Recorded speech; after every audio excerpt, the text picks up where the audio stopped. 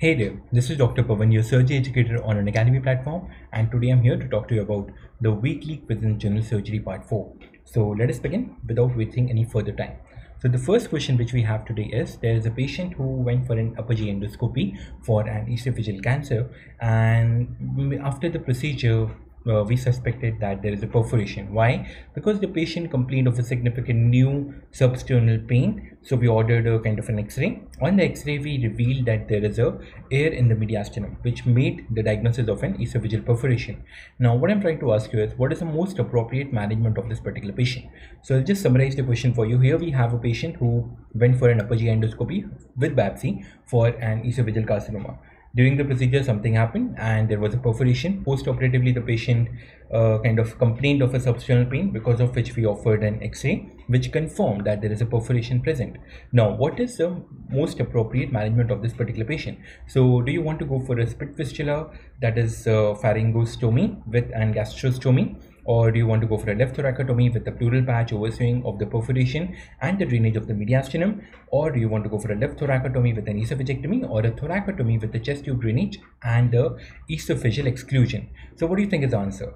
So if you say that the answer to this particular question is option number three that is a left thoracotomy with an esophagectomy you're absolutely correct. But why? Why is the answer c? Let us have a look at it so let us summarize esophageal perforation. It's an important topic. So when will you suspect a patient to be suffering from an esophageal perforation? So let's say after the surgery or after the procedure, uh, the patient complains of a retrosternal pain or the patient present with shock or the patient comes to you with a kind of subcutaneous emphysema, you will suspect that maybe during the procedure there has been a perforation. Now a point to be noted is if at all you're performing an upper GI endoscopy that is a therapeutic upper GI endoscopy that has a much more higher chance of esophageal perforation as compared to that if at all you're performing a diagnostic upper GI endoscopy. And overall, if you see the most common cause is iatrogenic, that is an upper GI endoscopy. Sometimes it may occur spontaneously also, like Boerhaave syndrome, but most common cause is an iatrogenic. Now, if you suspect a esophageal perforation, how will you diagnose it? So we have to go for a study. Which dye will you prefer? Will you prefer barium? Absolutely not. You will not prefer barium. Why? Because barium might cause mediastinitis. We don't want that. So what do we go for? We go for a water soluble dye. So we first go for a water soluble dye, but if at all the water soluble dye is not able to pick up the perforation, then we move on to the barium. So how do you proceed? You first go for a water soluble dye study. If at all you are able to diagnose a perforation, well and good. If you are not, then you proceed and do a barium study. And even if you go for a barium, you always use a diluted barium for this particular study. Okay, so you have basically diagnosed a patient as an esophageal perforation. How will you manage this patient? So whenever you consider the management of this particular patient, you have to take into consideration four things. What are these four things? The site of perforation, whether it is a cervical esophagus which is involved or is it a thoracic esophagus, uh, esophagus which is involved. Um, event causing it. So was it caused by an iatrogenic cause or was it a spontaneous perforation like a syndrome? Uh, what is the underlying pathology or is there any underlying pathology like motility disorder or a stricture or a carcinoma is there any underlying pathology and the last point which you need to consider is contamination so is there a lot of contamination which has happened in the mediastinum or there is absolutely no contamination this is something which you need to take into consideration right? Now another important thing which you need to consider is what is the time from the uh, site uh, how when when is the patient coming to you from the time of the perforation? So if at all the patient is presenting to you or if at all you're diagnosing this perforation within 12 hours from the occurrence of the perforation you are able to go for a primary repair okay? But if at all let's say the patient is coming to you late or you are taking time to diagnose the esophageal perforation after more than 12 hours from the time of the perforation you cannot go for a primary repair. Here you have to go for a delayed repair. So what do you do in the delayed repair? Why why do you want to go for a delayed repair? Because by this time the site of the perforation the esophagus may have developed the edema and other things. So you cannot go for the primary repair what do you have to do in here? You have to go for a proximal esophagostomy this is what is called as a spit fistula. Why? Because this proximal esophagostomy will help you in taking out whatever the salivary secretions and all the patient is having. You will have to take it out via the spit fistula which is pharyngoesophagostomy at the same time you want the patient like you want to feed the patient. So you have to go for a feeding gastrostomy or a feeding jejunostomy uh, whatever you feel comfortable with this is how you manage a patient of an esophageal perforation. Now, the last point which I want to make is, let's say if at all there is some underlying pathology. So let's say the patient is having a motility disorder, or let's say the patient is having a stricture or a malignancy, as in this particular case, you have to go in and treat the underlying pathology. Okay, so whenever, if at all, even if the patient is coming within 12 hours, whenever you go inside, whenever you perform a thoracotomy, you have to treat the underlying pathology. Now coming back to this particular question, what did the patient have? Patient had a esophageal carcinoma. So if you want to treat a primary or like uh, the pathology, you will have to go for esophagectomy. And this is the reason why the answer to this particular question is left thoracotomy with the esophagectomy. Now, yeah, the confusion would boil down to option number B and C why is the option number C and not option number B? Because if at all the patient did not have any underlying pathology, you would have gone for option number B. But here the patient is having an underlying pathology that is a uh, esophageal carcinoma. And that is the reason why you'll have to go for a esophagectomy. Will you perform a gastric conduit and go for an anastomosis at the same time? Maybe not. But you will have to remove the esophagus at this particular point. I hope you get this. This is what the answer is. Now, let's move on to the next question. So here there is a 45 year old male who has suffered from a motorcycle accident. That is fine. He had a high speed collision. After the accident the patient was apneic at the scene and that is why he was intubated and then he was shifted to the in the er and uh, yeah what you noted was you noted that the patient's left pupil is dilated and sluggishly reacting to light. Now this is very very important thing okay? So here uh, okay so the question is trying to ask you what is the pathophysiology behind this dilated pupil? So i'll just summarize the question for you again here there is a 45 year old man who suffered from a road traffic accident. He was intubated he was shifted to er in the er you found that his left pupil is dilated and sluggishly reacting. What is the pathophysiology behind this sluggishly reacting dilated left pupil? What is the cause? The cause is a patient is suffering from a uncal herniation. Okay so here there is a herniation of the uncal process of the temporal lobe which is actually compressing the oculomotor nerve so let me just get to this particular question. Now this is what you use to localize if at all there is any uh, intracranial lesion or not okay? So let's say the patient has come to you with a road traffic accident. Maybe the patient suffered from a bleed. May it be an edh may it be an sdh that particular edh or the sdh is causing pressure over the brain. And because of this what is happening? There is an uncal process which is herniating so here you are able to see that the uncal process is actually herniating through the tentorium cerebelli. It is herniating down. And what it is doing? It is basically compressing it is compressing the ipsilateral oculomotor nerve okay? So it is basically compressing the ipsilateral oculomotor nerve and because of this the patient's pupil is getting dilated. Now this is what you use in order to localize the lesion now no doubt today if you ask the investigation of choice is a non-contrast CT scan which will definitely tell you that there is an intracranial bleed but let's imagine 30 40 years back no CT scan. So how did they use to interpret whether there is any intracranial bleed or not? With the help of one of like this is just one of the signs which used to help them in localizing whether there is any intracranial bleed or not and if at all it is what side it is so whatever the side the pupil is dilated the same side maybe the hematoma is there okay i hope you get this this is what you use to localize the intracranial lesion so the crux of the matter is because of the uncal herniation there is a compression of the ipsilateral oculomotor nerve and because of this you get a dilated pupils on the same side which are sluggishly reacting I hope you get this particular point. Now, moving on to the next question, what is this investigation which has been shown in this particular image? Is it an ERCP, MRCP, T-tube cholangiography or a HIDA scan? Now, this was a question which was asked in one of the central institutes recently. So what is the answer to this particular question? The answer is T-tube cholangiography. Okay, so the answer is T-tube cholangiography. So first, let us understand what is this T-tube, why do you use it and why do you perform a T-tube cholangiography? So what is a T-tube? You're seeing these kind of uh, silastic tubes over here these are what uh, what called as a t-tubes where do you use it so you use it in a cbd exploration so let's say you have a cbd stone you explode the cbd you remove the stone and when are you like when you are about to close the cbd you close the cbd over these t-tubes the reason is why. Why do you want to put this t-tube over like when you're closing the cbd one of the reasons is to prevent the cbd stricture that is fine. But the more important reason is you have to look for any retained stone. Okay so what you want to use this particular t-tube for? You want to use it to look whether there is any retained stone or not. Because we are humans we all can kind of uh, screw things up. So what can happen even when you perform the cbd exploration maybe a couple of stones were still there in the cbd which you missed okay? And it won't it won't be a good thing right if you just remove this t-tube out.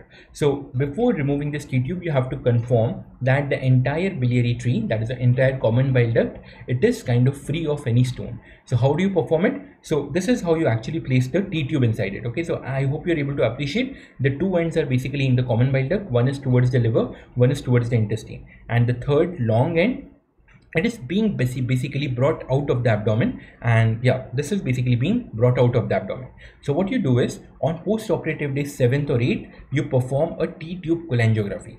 How do you perform it? With this particular end you put the dye inside it okay? So you put a dye inside it on the post-operative day 7th or 8th so if at all you perform this what you will get? You will get an image like this. So here you are able to appreciate that these are the intrabiliary radicals which are dilated and that is the dye is basically going to the intrabiliary radicals and at the same time the distal part of the CBD can also be visualized.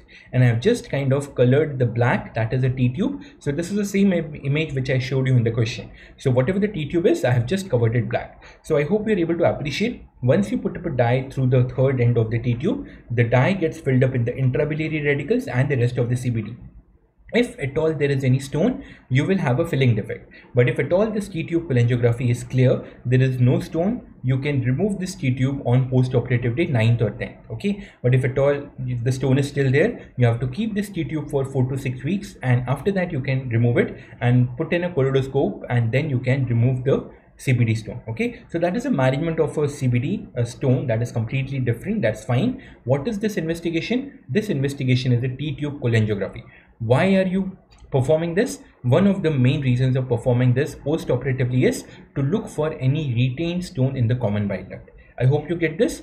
When do you remove it? If at all there is no retained stone you remove it on the post operative day 8th or 9th like the t tube you remove on the post operative day 8 to 10th after performing a t-tube cholangiography on the post-operative day 6 to 7 okay so this is all about this particular question. Now i'll just talk about the other investigations as well. I'm pretty sure that most of you would be aware of it. I'll just brush it through. So what is this endoscopic uh, like ercp so this is basically endoscopic retrograde cholangiopancreatography so when you would see a normal endoscope what do we have? We have the end channels. Okay so in a normal endoscope or whatever upper GI endoscope we have for the diagnostic and the therapeutic purpose usually we have an end channel. That is the end of the endoscope is the one from which the light comes out from which the kind of the catheters or whatever the instruments you put they come out from the end of the kind of a scope but in the ERCP you have a specially designed side channel kind of endoscope. So I hope you're able to appreciate here as a side channel, there is a port from which the guide wire, from which the camera, you're able to see everything. So this is a kind of a ampulla. You can basically cannulate it. You can put up a dye through it and this can help you in visualizing the bile duct as well as the pancreatic duct. So this is how you perform an ERCP I'm sure many of you would be doing this. I'm just brushing it through. And this is how the image looks like. Okay. So this is the endoscope which you're passing and I hope you're able to appreciate this is a kind of a guide wire which you have passed inside the biliary tree. And again, you are basically seeing that the intrabiliary radicals are basically kind of filled up with the dye. So this is what is a ERCP which you perform for the biliary tree. Similarly, you can also cannulate the pancreatic duct and you can have a look at the pancreas as well. So this is the process of an ERCP. Now, what is this? This is a kind of a mrcp what are you able to see in here this is an mrcp now MRCP, it is a diagnostic procedure. So here it is just a kind of a specialized MRI which you're seeing, which helps you in kind of looking at the intrabiliary radicals and the bile duct properly. So what is this particular image? This is a image of a bile duct injury. I hope you're able to see this is a common bile duct and because of the rent, all the bile is basically leaking out from there, which is very well, very well picked up by the MRCP. So just to recollect, what is an investigation of choice for a CBD injury? It is an MRCP and which is very well visualized in this particular image. I hope you get this particular point. Now, the lastly, we have a HIDA scan. What is a HIDA scan? HIDA scan is a procedure in which you basically inject a dye intravenously, which is being picked up by the liver and it is being excreted into the bile.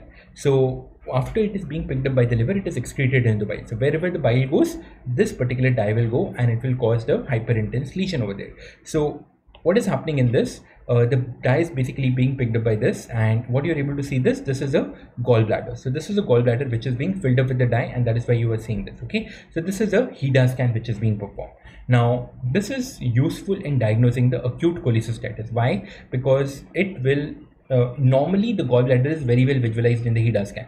But if at all the gallbladder is not visualized, it indicates that maybe the patient is having a acute cholecystitis. Okay, so this is an investigation. This is the HIDA scan. Where do you use it? You use it to diagnose um, acute cholecystitis. Okay, right this brings us to the last question of this particular short quiz. So there's a patient who presents to you with a non-blanchable erythema without breach in the epidermis. So there is a patient who is having a pressure sore which has a, a non-blanchable erythema without breach in the epidermis. What is the stage of the pressure sore like uh, bed sore rather? So what is the stage? Is it stage 1 stage 0 stage 2 or stage 3 now when I usually ask this particular question, if at all the students have not kind of ever gone through the classification or maybe they're not able to recollect, they go in for a stage zero.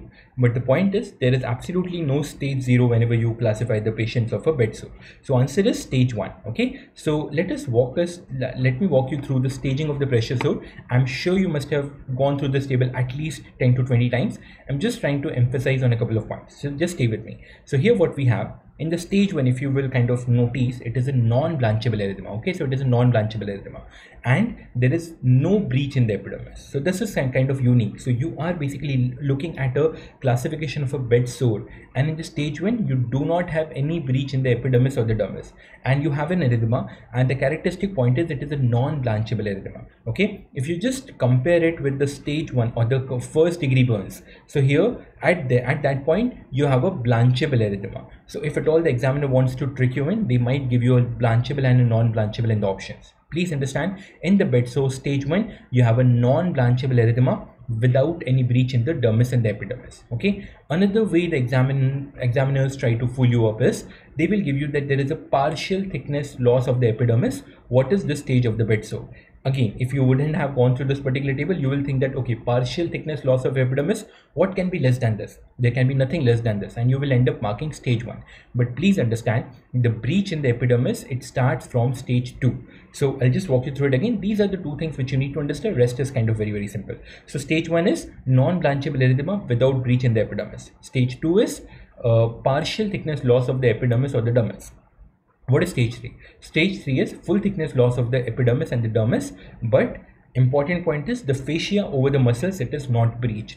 And the stage 4 is, it is again the full thickness loss of the skin along with the breach in the fascia. And you are actually involving the underlying muscles bones or the tendons or the joints okay? So 3 and 4 very much understandable nothing great about it. What you need to remember is stage 1 and stage 2 stage 1 is non-blanchable erythema without breach in the epidermis. Stage 2 is partial thickness loss of the epidermis and the dermis okay? Stage 3 full thickness loss but fascia is not involved. Stage 4 is you involve the fascia you reach to the underlying muscles bones joints whatever. Okay? So this is about the staging of the pressure sore which i want to kind of talk to you about. Thank you so much for joining with me guys in this particular video. I hope you like this. I hope it added a bit of a value to your life. So we are doing and we are organizing lots of courses on our plus platform. Please feel free to kind of explore them by clicking on the link below. You will be directed to my page. If at all you find any of the courses of your use please consider joining it. We are trying our best to give you the best value added content on the platform. If you want to join any of the courses, you can use my promo code that is dr.pawan and you will get around 10% discount on whatever the course you choose. Thank you so much for joining with me guys. It was indeed a pleasure interacting with you through this particular video. I hope you liked it. I hope it added some value to your life. Stay safe, happy studying. See you next week. See ya. Bye.